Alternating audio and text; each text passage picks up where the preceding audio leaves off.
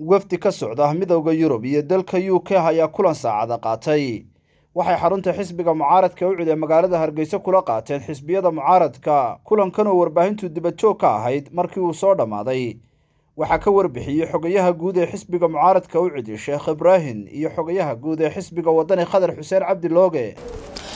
Bismillahi raxmaan raxiim waxaanu saaka kulan la yeelanay waddamada daneeya arrimaha somalilan ee doorashooyinkana inaga taageera. Runtii labada xisbi ee mucaaradkiiba ay kulan wada jira la yeesheen. Kulankaasi si fiican ayuu u dhacay uu ku soo dhammaaday. Waxaana runtii aan uga waranay maanta xaaladda aynu ku jirnay doorashooyinka.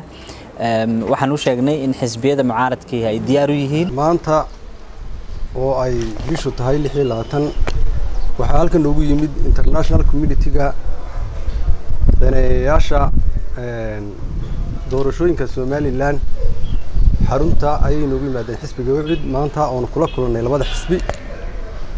Waxaananu ka wada hadlaynay laba qodob ayaa ugu muhiimsanaa.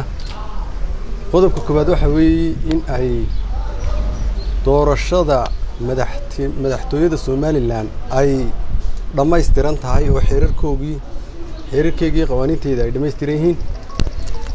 Doorashooyinka kale ka dambeeyaana wixii ka qabiyaa insha allah la dhammaystiro. Annaguna aanu diyaar u nahay labada xisbi haddaanu nahay in ayna waxba naga qabi ahayn oonu diyaar u nahay.